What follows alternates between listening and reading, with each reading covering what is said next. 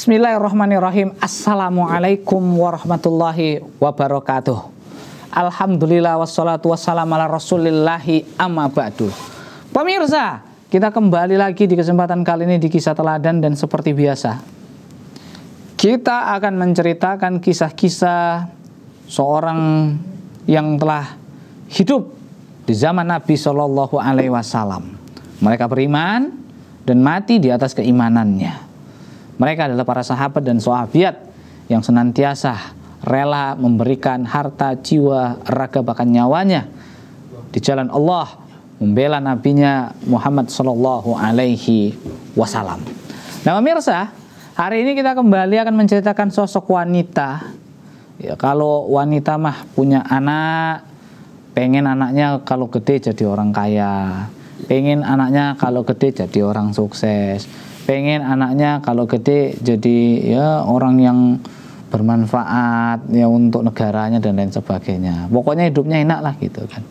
Nah, prinsip dari seorang wanita yang akan kita ceritakan kali ini adalah bagaimana bisa menjadikan seorang anaknya bermanfaat untuk agamanya.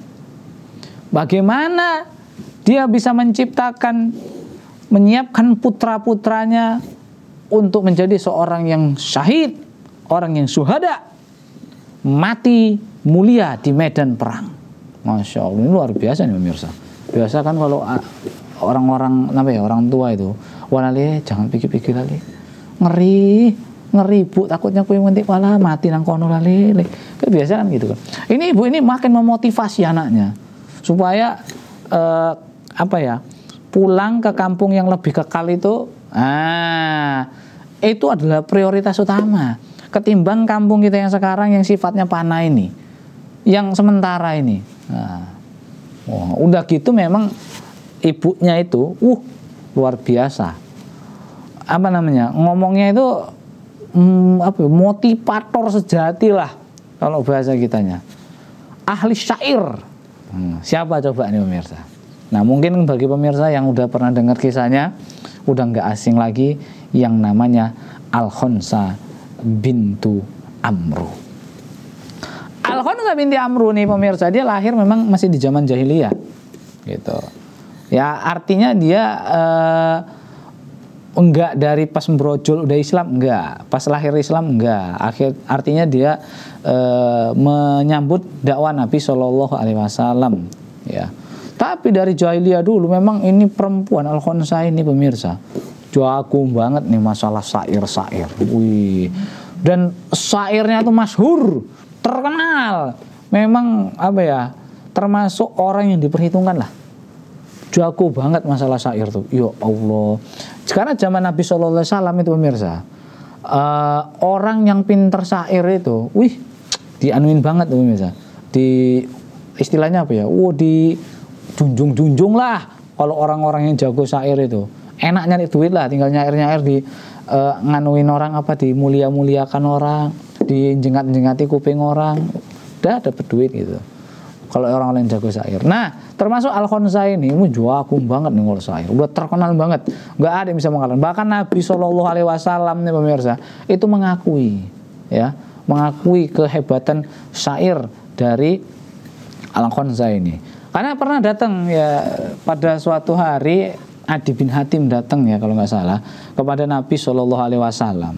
Dia mengatakan, wahai Rasulullah, sesungguhnya ada dari kaumku yang e, jago banget masalah syair, orangnya kemudian ada yang dermawan, ada juga yang jago naik kuda.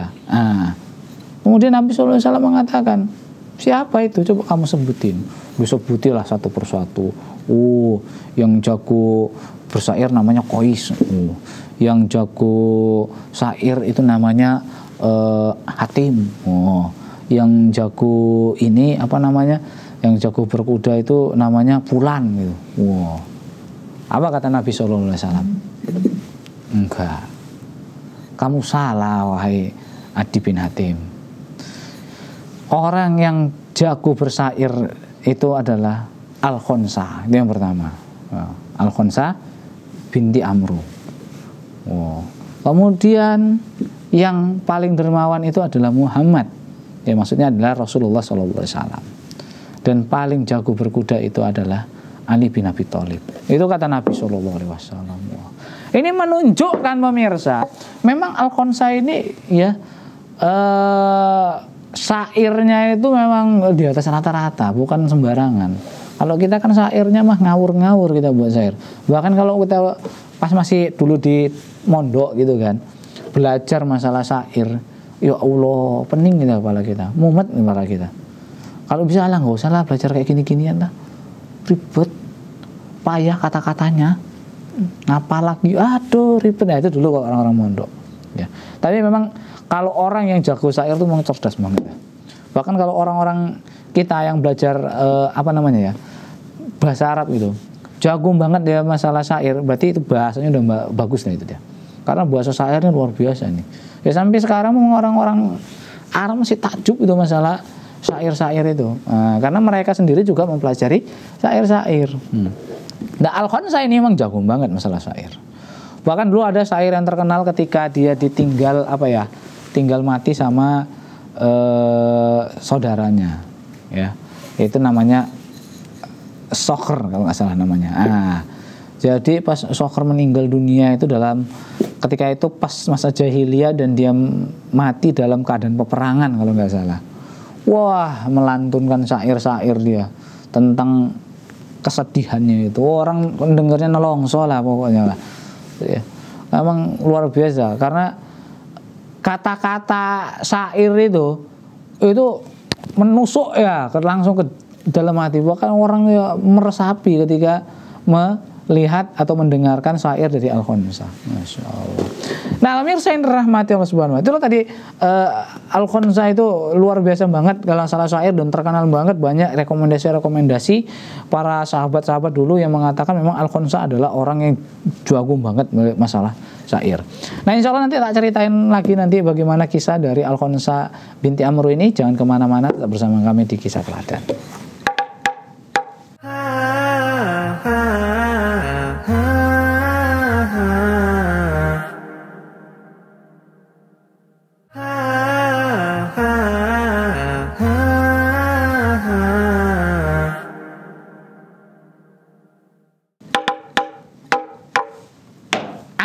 Pemirsa, kita kembali lagi ya di kisah teladan dan kita masih menceritakan tentang sosok Al-Khonsa binti Amru. Nah, pemirsa, Al-Khonsa binti Amru ini nama aslinya itu adalah uh, Tamador ya, Tamador bintu Amru ya, Ibnul Haris ya. ya itulah dan seterus-terusnya lah panjang sebenarnya kalau orang Arab kan apa ya uh, nasab-nasabnya itu panjang banget gitu ya dia dari kabilah Sulami juga dia Nah, jadi pemirsa yang dirahmati Allah Subhanahu wa taala. Jadi Al Khonsa ini ya dia menikah dengan seorang laki-laki yang bernama Roahah bin Abdul Aziz. Nah, dari pernikahan tersebut ya eh, Al Khonsa ini akhirnya apa namanya ya? Eh, memiliki empat orang putra. Oh, lahir anaknya empat laki, bukan sekali brojol enggak, tapi artinya dia punya empat orang anak laki-laki. Dan luar biasanya lagi nih pemirsa yang diramati Allah Subhanahu wa taala. Tuh anak memang uh wah apa ya? Anak-anak yang soleh lah kalau tak bilang lah. Berbakti sama orang tua, nurut pada orang tua. Ini memang itu semuanya nggak lepas dari seorang orang tua yang sangat luar biasa. Ya. Peran orang tua yang sangat luar biasa untuk memotivasi, menasehati anak dan lain sebagainya. Karena Al Khonsa ini selalu ya eh, meng, apa namanya ya dikidung-kidung ya apa namanya istilahnya ya di eh, di arep-arepin supaya tuh anak kelak itu menjadi anak yang berguna untuk agamanya. Menjadi seorang mujahid sejati. Nah ini tak ceritain bagaimana seorang Al Khonsa ini menyiapkan putranya. Pada tahun ke-14 Hijriah Wah, 14 Hijriah itu masa pemerintahan Umar bin Khattab. Jadi pemirsa, ketika itu Umar bin Khattab ingin mengirimkan tentara untuk menaklukkan Persia. Wow, over powernya dulu. Duluan kok zaman Rasulullah ya, zamannya para sahabat itu negeri yang paling ngeri itu kekuasaannya Romawi Persia. Ya. Ini karena kaum muslimin untuk mencoba untuk menaklukkan kedua negeri tersebut. Tawarin pemirsa. Ya biasalah kalau orang Islam. Ini ini kekuasaan orang Islam. Mas, mau masuk Islam. Oke atau nggak apa-apa. Sampean kafir tapi bayar apa? Bayar pajak. Tapi kalau enggak ya udah. Artinya ya jihad kan gitu Persia mau kalah lah untuk guri gede sok paten dia oh berapa orang kaum muslimin mengirimkan tentara emangnya oh. kala itu pemirsa Indra Allah dalam riwayat itu mengatakan eh, 33 ribu ada juga dalam riwayat mengatakan 41 ribu pasukan yang disiapkan oleh Umar bin Khattab yang dipimpin langsung oleh Sa'ad bin Abi Waqqas. Nah, pemirsa yang dirahmati Allah Subhanahu wa taala perang ini memang luar biasa. Nanti pecahnya itu di daerah Kodisiah. Nah, dan luar biasa ini pemirsa, tentara Romawi itu nggak nanggung-nanggung. Dia menyiapkan tentara sebanyak 200 ribu pasukan. Uh, banyaknya minta ampun, 200 ribu pasukan pemirsa. Hmm. Wong nonton stadion pas final Piala Dunia mungkin loh. Ya, 200 ribu pasukan disiapkan untuk me bumi hanguskan tentara kaum muslimin ketika itu. Ya, dengan diutus panglima perang mereka oleh eh, ketika itu kaisar Persia ya, apa? Kisroh Persia. Nah, ketika itu siapa namanya? Rustum kalau nggak salah. Rustum siapa gitu. Jadi melawan kaum muslimin yang jumlahnya 33 ribu dalam riwayat lain 41 ribu pasukan. Dan mereka 200 ribu pasukan dan dalam riwayat lain itu 200 200 sekian pasukan lah pokoknya banyak banget lah. Ya gitu. Istilahnya kalau saya nyalek mah kalau udah dapat 200 ribu suara udah menang nama saya gitu. Nah ini pemirsa langsung langsung 200 ribu pasukan melawan kaum muslimin. Kaum muslimin kalau kita hitung-hitung banyak lah.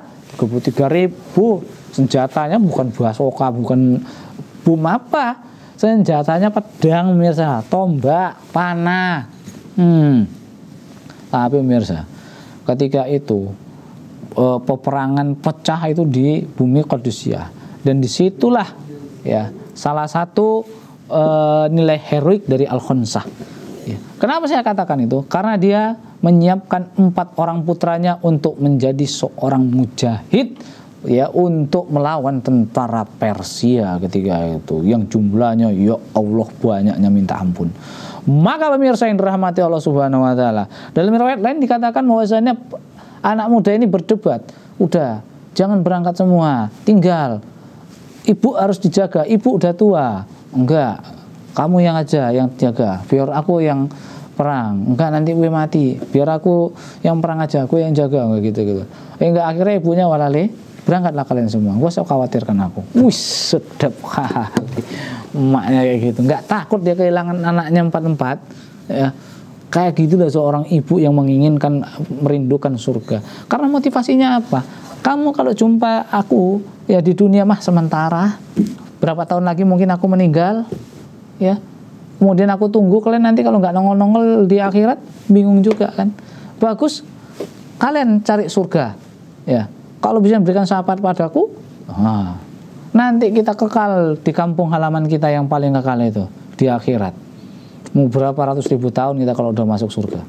Setiap hari jumpa. Kalau hari ini, wah, ini mah sementara hidup dunia ini. Wah, jadi monggo lu ngolah anakmu. Uh, dan sebelum berangkat dibacakanlah syair, dinasehatilah ya anaknya itu. Wih. Nasihatnya pemirsa. Wahai anak-anakku, kata Al-Khansah.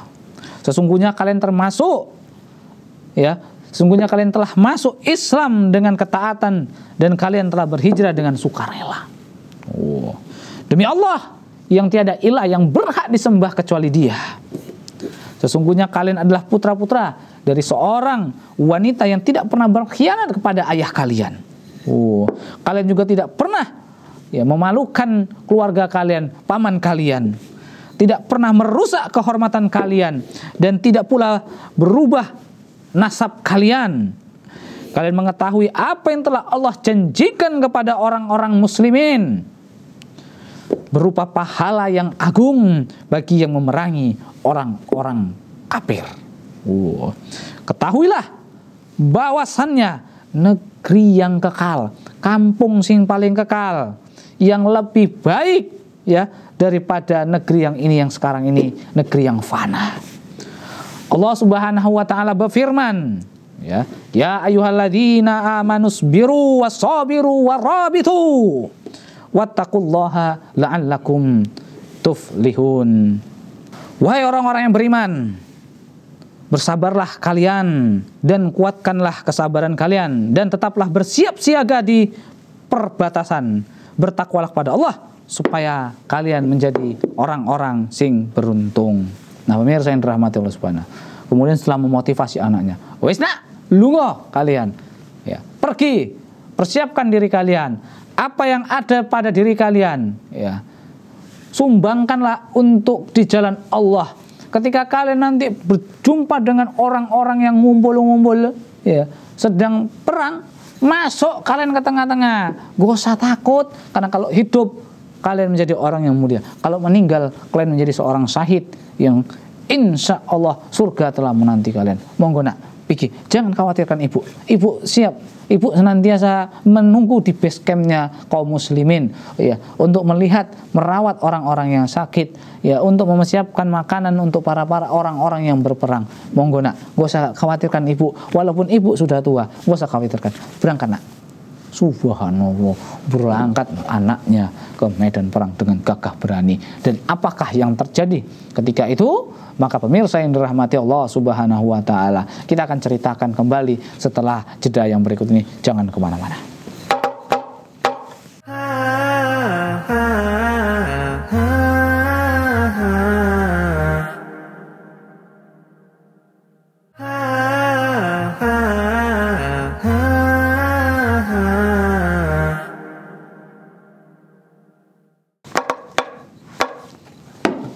Pemirsa, kita kembali lagi di kisah teladan dan kita masih menceritakan tentang kehidupan Al-Khonsah.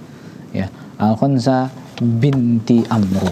Nah, pemirsa, tadi sudah kita ceritakan bahwasannya bagaimana dia menyiapkan seorang putranya, keempat putranya untuk di medan perang, untuk melaksanakan tugas dari Amirul Mukminin Umar bin Khattab, untuk mengabdikan diri kepada agamanya, untuk berperang melawan tentara Persia yang kala itu dipimpin oleh ya Sa'ad bin Abi Waqqas ya yaitu panglima perang besar kaum muslimin ya untuk menaklukkan Persia. Maka pemirsa yang dirahmati Allah Subhanahu wa taala, akhirnya perang betul-betul berkecamuk pemirsa. Kita tahu kedahsyatan dari uh, perang Qudusiyah. Ya, kaum muslimin hanya berjumlah 33 ribu atau dalam riwayat yang lain 41 ribu ya melawan tentara orang Persia yang jumlahnya 200 ribuan pasukan. Dalam riwayat dikatakan 225 ribu pasukan melawan kaum muslimin ketika itu. Secara logika oh kalah. Dan memang secara persenjataan juga mereka lebih lengkap lagi pemirsa. Dan kalau kita lihat lagi pemirsa ya ngerinya ini tentara Persia kalau kaum muslimin itu masih naik kuda masih naik onta tapi tentara Persia udah numpak gajah pemirsa. Hmm. Gajah yang gede ditengkerengi. Kayak mana pula kita mau mengalahkan gajah yang tinggi dur ya, untuk melawan ya. Yang kita mah pendek naik kuda gini wah nengoknya aja ndangak ya, mau bacok maju apanya? Gajah dibacok ya. Mending kalau pedangnya tajam. Kalau enggak ya paling kebeset sedikit aja. Uh, gajah kulitnya tebel loh pemirsa Coba deket-deketin, sampluk pakai apanya itu, lalainya, pakai anunya apa namanya, gadingnya itu disongket. Ya memang pemirsa, susah banget pemirsa. Kaum muslimin berapa kali itu kocar kacir melawan e, tentara apa ini? Orang-orang Persia kocar kacir benar pemirsa. Hingga akhirnya pemirsa yang dirahmati Allah Subhanahu wa taala ketika datang bala bantuan ya. Makanya dalam riwayat itu dikatakan bahwasanya kuda-kuda kaum muslimin itu didandani ceritanya. Ya untuk menakut-nakuti gajah. Ternyata gajah ini badannya gede tinggi dur ada bisa ditakut-takuti juga. Sehingga gajah mereka apa? Jingkrak pemirsa. Ya ketakutan melihat penampilan kaum muslimin ketika kuda kaum muslimin yang telah didandani ditempel-tempel entah apa-apa gitu. Sehingga membuat kuda uh, gajahnya itu keweden ketakutan uh, kocar kacir. Sehingga sing numpak itu ngeblak semua jatuh semua. Kececeran gajahnya kocar kacir. Belayu rono belayu ini menyak menyak kawannya mijak mijak ke tentara KRC sendiri. Wah makanya pemirsa yang dirahmati Allah Subhanahu Wa Taala langsung serangan balik dibuat kaum muslimin. Buang! Kocar kacir makin parah lagi pemirsa yang dirahmati Allah Subhanahu wa taala. Dalam riwayat itu lari mundur kocar kacir. Wah nggak tahu lah udah tubruk-tubrukan kawan sendiri kebacok, kawan sendiri nggak sengaja kecucuk sampai segitu gitunya pemirsa. Makanya kaum muslimin udah pakai pasukan pemanah, udah nampak mereka di ujung ngumpul, udah hujani panah aja, brok, bonjrot semua pemirsa. Ada yang lari nyemplung sungai, kebetulan itu dekat sungai Efrat kalau nggak salah. Nyemplung semua berenang-berenang wujurnya pemirsa. Sampai panglima perangnya pemirsa yang dirahmati Allah subhanahu wa ta'ala. Nampak uh itu panglima perang dari orang Persia. Dia kuber pemirsa. Uh, nyemplung dia ke air berenang uh, sekuat tenaga. Uh, muslimin nggak kalah pemirsa? Berenangnya bukan ya kayak apa? Kayak orang mau kelelep? Enggak tapi aku juga mau nangkut cumpuk jur. Wah jurnya semua tangkap di air seret buat cok ndasi coprol. Dibawa. Weh wong Persia nih kepala panglima perang kalian. Wah wah dulu ini lihat nih ditunjukkan das orang tuh bisa paletok badannya nggak ada orang mau uh tentara Persia langsung ngedon pemirsa. Allah Akbar. Ketakutan mereka. Uh macam panglima perang ku ndasi di apa di jereng uh oh ya bener panglima perang ku ndasi coprol mah badannya di mana itu ya? Wah mikir mikir orang umat cung iya betul palanya coprol pada ih badannya mana dia jangan-jangan di kantongnya masih ada duit gopek belum dibayar. Nah enggak enggak gitu. Pemirsa yang dirahmati Allah subhanahu wa ta'ala itulah membuat kekhawatiran tentara Persia semakin ngedun makanya dihajar kocar kacir lagi sama kaum muslimin. Dan benar pemirsa kemenangan berada di kaum muslimin Nah, pemirsa yang dirahmati Allah Subhanahu wa taala, setelah peperangan berkecamuk selesai, kaum muslimin pun mencari korban-korban dari pas uh, peperangan tersebut. Dan di antara korban dalam riwayat dikatakan sekitar 7000 pasukan telah gugur di peperangan tersebut ya. Dan di antara para korban keempat anak dari Al-Khonsah terkapar tak berdaya tanpa nyawa. Sehingga diutuslah salah seorang di antara kaum muslimin untuk mengabarkan kepada sang ibunya Al-Khonsa. Wah ibu, kami ingin mengirimkan kabar kepadamu. Bahwasannya keempat putramu telah gugur di medan perang menjadi orang yang syahid.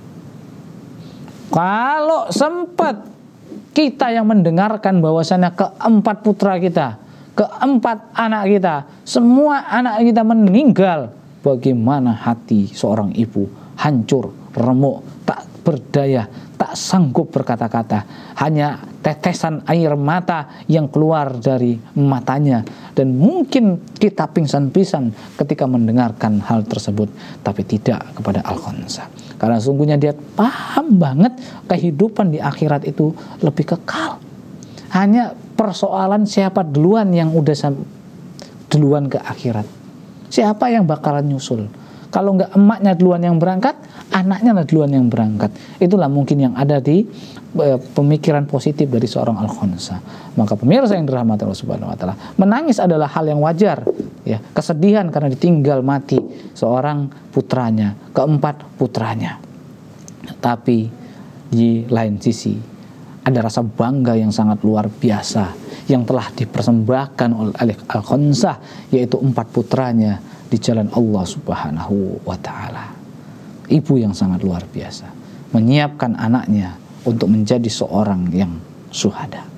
Pemirsa yang dirahmati Allah Subhanahu wa taala, itulah tadi kisah dari Al-Khonsah yang akhirnya dia pun wafat di awal-awal pemerintahan dari Utsman bin Affan untuk menyusul ya sang putra di akhirat. Subhanallah. Semoga bermanfaat.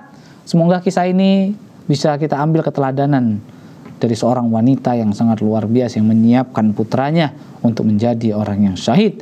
Makanya Al-Khansa ya dijuluki dengan Umus Suhada karena sesungguhnya dia telah menyiapkan keempat putranya menjadi orang yang syahid di medan perang. Pemirsa yang dirahmati Allah, semoga bermanfaat. Semoga kita bisa mendapatkan keteladanan dari kisah tersebut. Dan sampai jumpa di pertemuan berikutnya. Mohon maaf atas segala kekurangannya. Kami tutup dengan subhanakallahumma bihamdika asyhadu alla ilaha illa anta astaghfiruka wa. Wassalamualaikum warahmatullahi wabarakatuh.